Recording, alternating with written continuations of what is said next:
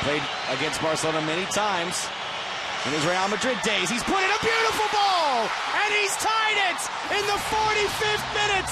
He just needs a touch. That's all he got. 1 1.